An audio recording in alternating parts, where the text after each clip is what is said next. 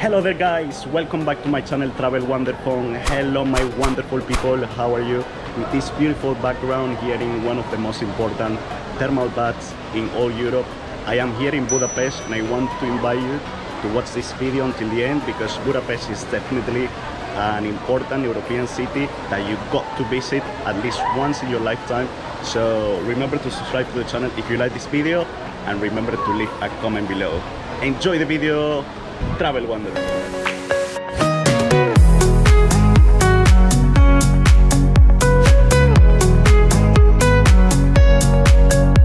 Begin by visiting one of the most important landmarks not only in Budapest but in all Hungary, the Buda Castle, which is a beautiful, huge complex located in the heart of the town of Budapest and it dates back to 1265 pretty much, uh, give or take. It's a very very old complex which was used as a royal palace as well and it's really beautiful. I highly recommend to come here and spend at least two or three hours because it's really big. This is also home to some museums and libraries. As you can see people gathers here here in one of the many fountains here in the Buda Castle complex to take pictures and it's all the surroundings of this place. It's really beautiful to be honest. You got even cafes, restaurants, if you want to enjoy a relaxed day uh, like today here in the Buda Castle, which was a former royal residence in which the kings of Hungary once lived. It dates back pretty much to 12 65 so many many years ago and the architecture is still very very beautiful. And if you cannot feel your legs anymore after visiting the Buda Castle complex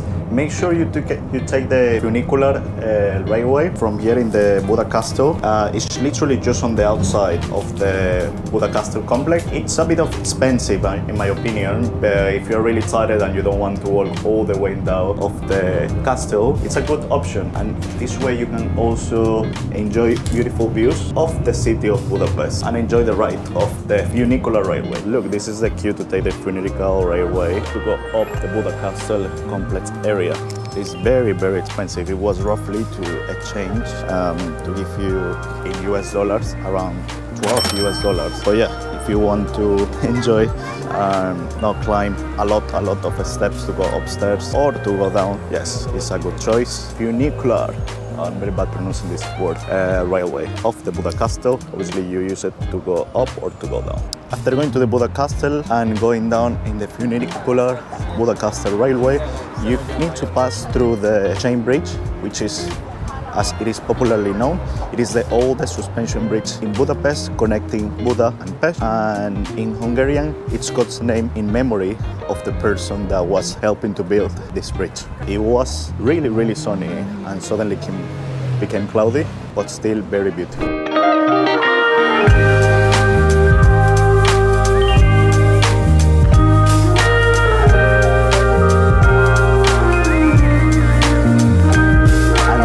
Religious person or not, another must visit when coming to Budapest is St. Stephen Basilica, which was constructed over a period of 50 years. It started in construction in 1851 and it was finished in 1905. St. Stephen's Basilica is a tribute to Hungary's first king, uh, St. Stephen, and it's actually got a holy relic inside of the basilica, which can be found very easy inside of the church. It has the holy hand of St. Stephen, which is said to be a monument, which is actually a real hand mummified and which is said to be holy and it cannot be, you know, like corrupted. It looks in very good state, even though it is mummified. You can have a look here. It's really, really interesting. A lot of people obviously gather to take pictures and videos of this holy hand. You have a, a lot of beautiful, beautiful architecture inside of the church and in the outside as well. It is neoclassical style and it's very well maintained. I got to say it's really, really beautiful. So whether you are religious person or not, I highly recommend here. You got also the treasury, which you know holds uh, very important uh, religious artifacts. You can see, you know, like even from the Vatican, you can see, you know, uh, artifacts that have been, you know, given as a tribute to this beautiful church. It is important to note that if you pay for the only one ticket, you got access to the Basilica Church, uh, the treasury, and also you got access to the lookout, which is an impressive sort of terrace at the very top of the Basilica, the dome, uh, which offers very beautiful panoramic views of all the city of Budapest. So highly, highly recommended. St. Stephen's Basilica. So after exploring the Basilica and the Treasury, you can go all the way up with your ticket only one uh, to this beautiful terrace, which is the very top of the Basilica. Have a look, it's really, really nice. It offers you panoramic views of all the city, so it's definitely worth it obviously a lot of people. You have to queue up a little bit to take the lift to go up. Um, there are no stairs, it's just one lift and some stairs just in emergency, but it's really worth it the wait. It has different viewpoints in which you can come, take pictures and videos if you wish so. But yeah, basically from here you feel on top of the world. Look at all this beautiful view of the city of Budapest. Amazing. The cost of the ticket was 4,500 in Hungarian currency, which is not bad considering it includes me, you know, access to uh, the, you know, the Basilica, church, treasury, and the lookout terrace. Highly recommended, really good price as well.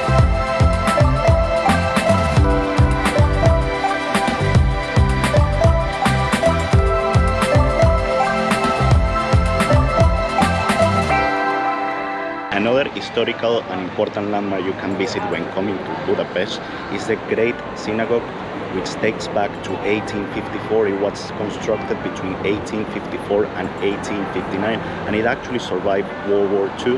This is an important synagogue because it is the largest in all Europe. It is actually a Europe uh, heritage site and it is the second largest in the whole world. It can accommodate up to 3,000 people in this complex. This is also a place uh, which serves as a tribute and memorial of the victims of the Holocaust. In fact, we got at the very courtyard this weeping metal tree which has you know served as a memorial of the victims of the Holocaust and each metal leaf has a name of a victim of the Holocaust. This is you know pure history regardless you are a religious person or not. Um, as I said also when visiting the St. Stephen Basilica, it is an important landmark, culture, you know, general, general knowledge. It's a very impressive synagogue which has very impressive architecture. It represents uh, Moorish, Byzantine and Gothic architecture. So yeah, definitely worth it. You can feel this sort of, you know, like energy which transport you to many uh, years ago when you are, you know, listening about the history and looking at all these, you know, like victims of the Holocaust. But yeah, definitely uh, site uh, that you got to respect as well. You got also to be dressed, you know, like properly when coming in here. You can use the cupping here, uh, but obviously you need to use, you know, long trousers. Uh, they check your bag when coming in. They kept my drone, but they're gonna leave me at the very end of my visit here. So definitely a, a worth visit the Great Synagogue here in Budapest. The ticket gives you access obviously to the inside interiors of the synagogue, the Jewish uh, museum which you know contains important Jewish artifacts collected throughout you know many years and obviously the courtyards and the memorial site. I think it's worth it. I thought it was a bit expensive the ticket in my opinion but that's just my opinion but obviously it's definitely worth it.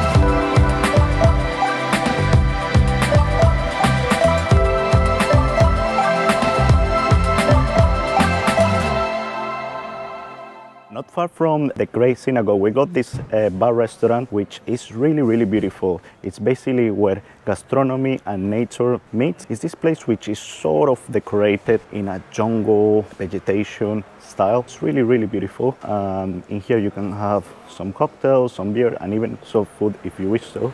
I got to say the food is not very cheap. If you want, you could just have your no, a drink, really, really beautiful decorated. Uh, it's called 26, and as I said before, it's roughly five to 10 minutes walk from the Great Synagogue. So yeah, really, really cool place. Another amazing place you can visit when coming to Budapest is Zoo Cafe, which is not an ordinary coffee place. It is more than that. It is a place in which you can enjoy and share with stunning and exotic animals while enjoying a coffee, while having a cake, while having a lemonade or a snack. In here, the zookeepers will always answer all your questions regarding the animals and also how to handle them in a responsible way in order to not harm them. It is a very nice environment, especially designed for families that cannot have pets and would like to have a special relationship with animals. It is a very nice and relaxed environment, so I highly recommend it. I'm talking about really cool bars. Not far from the 26 bar and restaurant, we got the Set Simple Care Bar, which is located roughly 10 minutes walk from the 26 bar, and it is the oldest ruin bar in all Budapest, and it is considered the best one. Why? Because it's got so many different environments, different rooms, different bars. You can even find food, and the decoration is really cool. It gives you the vibe like if you are in a pirate ship, I don't know, like in a disco, I don't know, sort of everything. I have come right now in the afternoon when it's not so busy because it gets really, really packed later in the evening. Got even like old pianos, like really cool bars, as I said before. Uh, here you can enjoy, you know, uh, relaxed beer or your favorite cocktails. Really, really cool, really worth it. Um, the translation of its name is like the cool garden or the outside garden, uh, being told. So yeah, really, really cool, especially in nice summer days like today. Uh, really cool place to visit here in Budapest, the Set Simple Care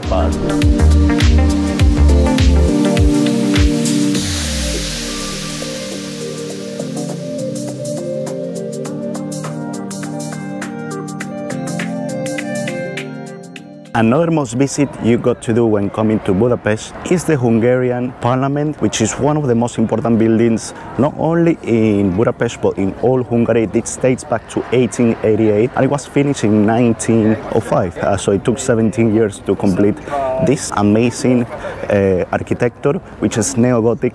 So it offers one of the most beautiful views as well of the capital city of Hungary because it's in front of the Danube River. So look at all this area I'm showing you. Very, very incredible. Um, I got to say that you got to come here very, very early because I just came at 11 in the morning and it was sold out the tickets to go in the inside. But in a sunny day like today, it's really, really hot. I prefer to be outdoors. So enjoy the outside of this incredible parliament. I got to say that um, I got to tell you a bit of my experience as well because I was flying my drone and I read everywhere about the rules to fly the drones in here. And it was saying that the, you could fly pretty much everywhere you just needed to be careful you know obviously uh, with the crowds and not to fly so near of the buildings. I was flying the drone you know like decent distance of the parliament and yes I took like a quick shot of the river the parliament and then obviously when I landed the drone after a few minutes I had some officers coming to me saying that what I was for why I was flying the drone these kind of things asking me what I'm doing here in Hungary stuff like that. So oh look at this. Impressive. So yeah obviously they say that this is um, official building and no drones are allowed you know for obvious reasons security and all of that but um, they were very friendly at the end they just took my name. I told them about the channel, Travel Wonderful. One of them even make a joke saying, okay, I'm gonna go and dislike your video for flying the drone over here. But that was it. They just told me to be careful. They told me I could fly pretty much everywhere, but not around here. But yeah, that was the story of my experience here coming to the Hungarian parliament. But obviously I explained them as well that the whole intention of taking this area of the parliament was to make an amazing shot and obviously attract more tourists to come to Budapest. That's the whole, you know, intention of making YouTube videos about Budapest, not doing any sort of bad thing to the country or to Budapest.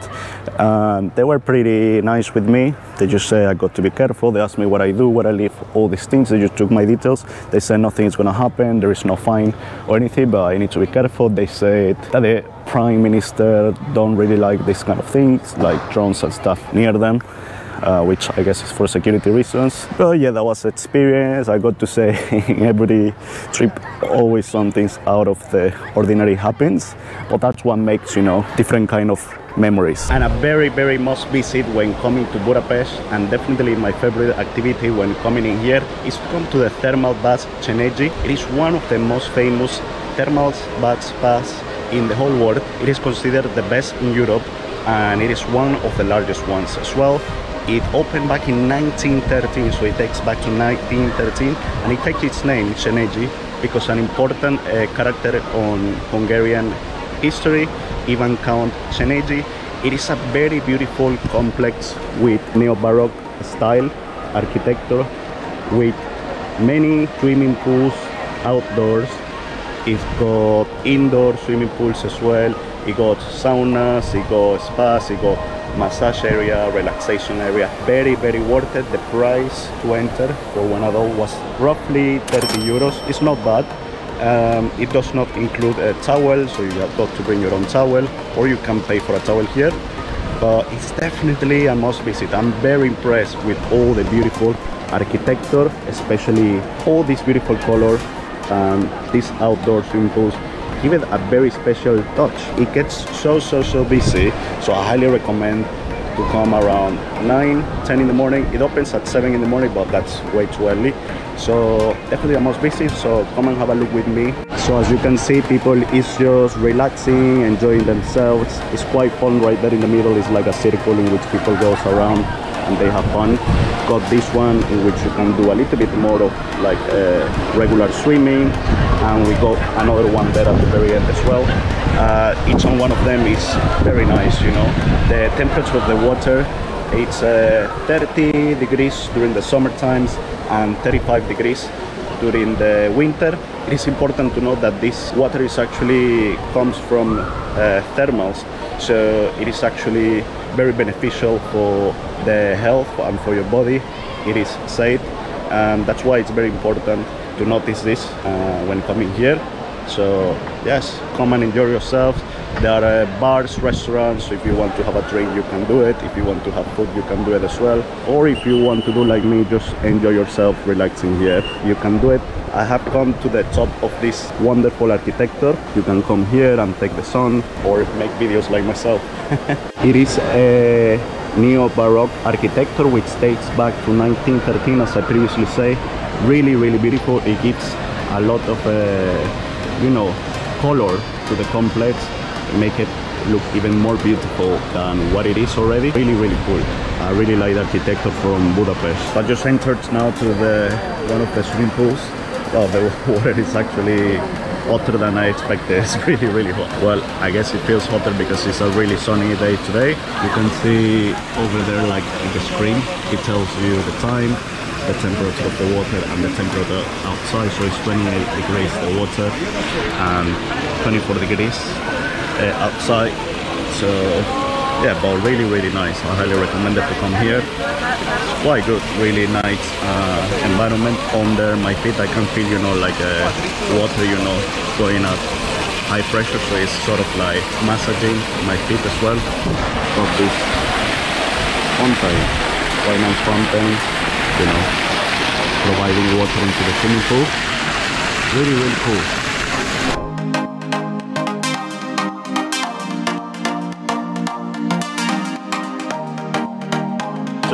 apart from the outdoor swimming pools, we go indoor swimming pools as well with all this thermal uh, lovely water, hot water. And you got the saunas as well.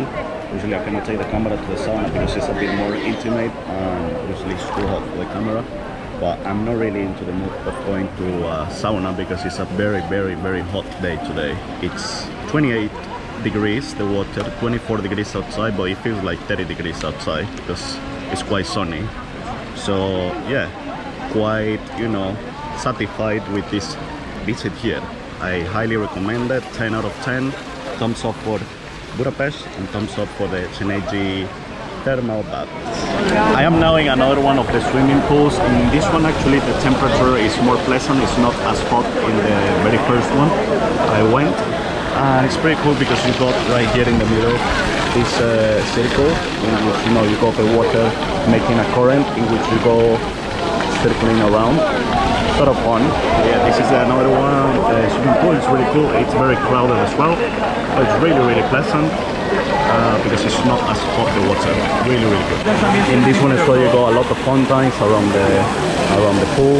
Pretty cool. You can relax. A really nice day here in budapest this one right here in the middle is a bit more you know like normal swimming a bit more like professional swimming or regular swimming so unless you're not gonna swim you don't come in this one If you want to swim properly, then yeah, you can come to this one. But I'm too lazy to swim properly, so I'm not coming to this one. Now in the place that I was earlier, in that sort of like terrace, in that beautiful architecture, it's quite a lot of people now taking the sun. It's a really good spot to take the sun. Uh, when I was up there, there was no one. Now it's a lot of people taking the sun over there. Really cool. I just uh, bought a beer now, local beer in one of the many bars by the swimming pool, just on that side. It was uh, 5 euros 50, a bit pricey in my opinion for one beer, local beer actually, but it is a touristic place, so yeah, it is kind of understandable. They have uh, restaurants. I had a look at the menu and I didn't see anything, you know, interesting in the menu, so I'll probably eat outside. But in the meantime, I'm just gonna enjoy my beer. Cheers. So overall, I think it's pretty worth it. You know, you come here for a day, you come early in the morning and you leave in the afternoon, or you come for the afternoon until the evening. It opens at 7 in the morning and it closes at 8 p.m. So yeah, for 30 euros, you know, you go different kind of outdoor swimming pools with this lovely water, uh, which is beneficial for your health. Uh, yeah, pretty cool. You got saunas, you got a bit of everything. You got bars, restaurants. I think it's pretty worth it, you know, to come with your friends, family, with kids. Really really good. I really really like it. I saw some people even playing chess on the water. That's pretty cool. Very creative. So people playing you know outside as well of the swimming pool. Really really cool. Really nice experience. I highly recommend to come here. There is a lovely Széchenyi thermal baths really really good